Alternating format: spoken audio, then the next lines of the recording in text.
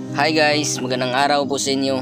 Ngayon, usapang engine oil leak at front gear case at saka yung sa crankshaft oil seal natin. So, magpalit tayo ng gear case gasket at oil seal. D-Max. Ayan. Ito yung front niya.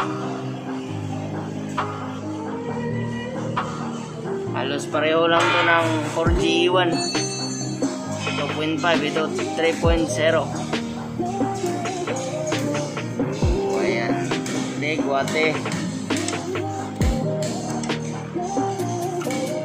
Yan already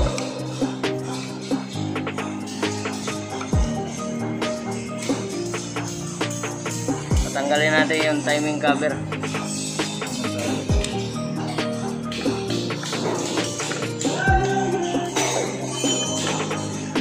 malakas yung oil leak dito at saka yung sa ating crankshaft oil seal yan sa harap. Sus, apit naman ang dribigas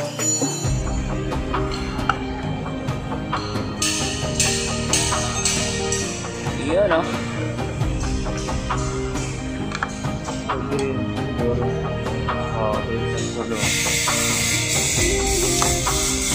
Silbo ni. Rino. ito lang yung kumakapit oh. May ano to eh guide or tinatawag niyang dawil. Ito yung ano natin. Kasi ano na dito eh maluwag na eh. Ano?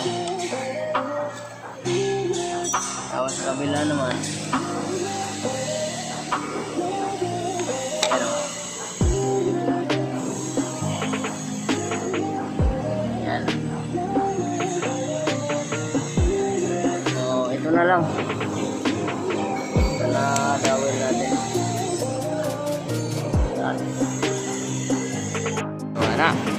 tira. Salay ko dire. yeah. Uy! Oh, yeah. Ayun! Yan,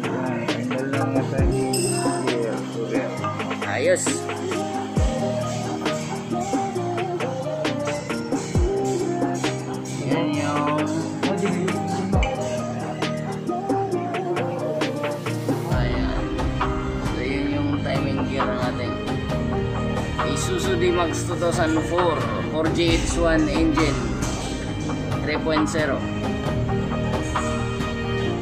So, ang gagawin lang natin nito, palitan ng ating gasket ng timing gear cover.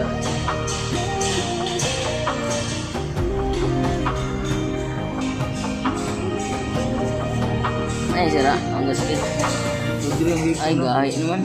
Ano? Wala na. Sana may ano. Ah, meron yan ano. Bago. Ah, mabigas na. Nanigas na po. 2004 pa to eh. 16 years. Ay, ilang years ba? 4 plus 20. Oh, 16 years na tong gasket na to. Dapat nang palitan at saka itong isang oil seal. So,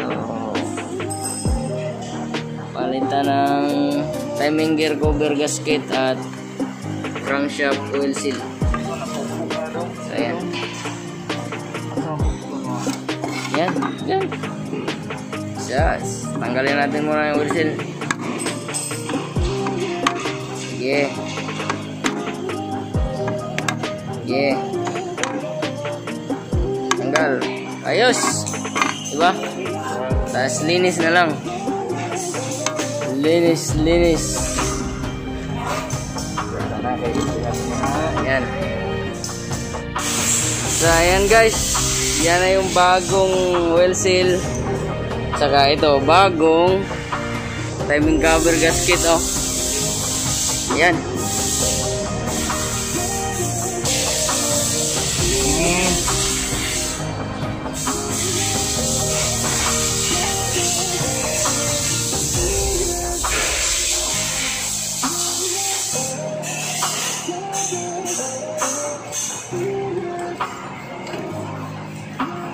Yan.